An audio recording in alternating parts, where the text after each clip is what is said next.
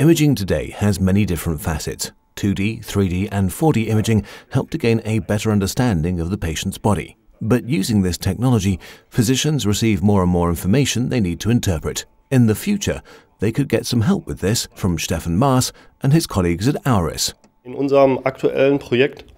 The goal of our current project, titled Augmented Reality Intervention System, or AURIS for short, is to combine conventional ultrasound guided needle biopsy with the benefits of augmented reality. Augmented reality is a mix of virtual reality and the reality we perceive through our senses. While you completely immerse yourself into a virtual world in virtual reality, only individual elements are added to your reality in augmented reality. The system includes a diagnostic ultrasonic device with an ultrasound head to which we added an optical marker. We also use augmented reality glasses with an integrated camera.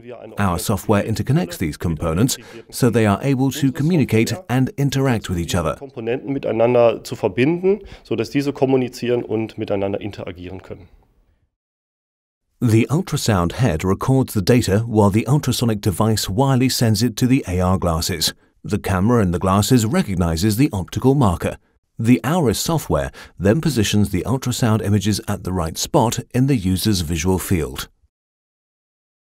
Ähm, the problem for physicians with a conventional ultrasound biopsy is that they need to both look at the area or intervention site and the ultrasound image on the respective ultrasonic device monitor. That's why they need to keep looking back and forth between the biopsy site and the ultrasound image. Our AURIS system now makes it possible to show the ultrasound data directly at the site so that the physician has all of the required information in his visual field all at once. For patients, this means less pain during the intervention and a reduced risk of infection. In the future, AR glasses could also broaden the horizon of physicians in other ways. The applications of augmented reality in medicine are technically endless. We are presently focusing on 2D and 3D ultrasound data, for example. But you could obviously also use image data from other modalities like CT scans or MRI data. You actually do not have to limit this to image data.